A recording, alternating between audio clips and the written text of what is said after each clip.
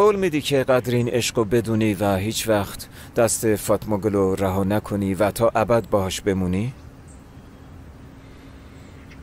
بله.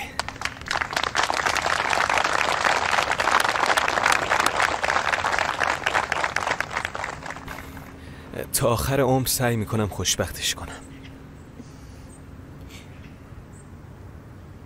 شاید هیچ زوجی به اندازه شما همدیگر رو خوب نشناخته. کس مشکلاتی رو که شما داشتین نداشته خب فاطمه گل قول میدی که همیشه کنار کریم بمونی و هیچ وقت دستش رو رها نکنی؟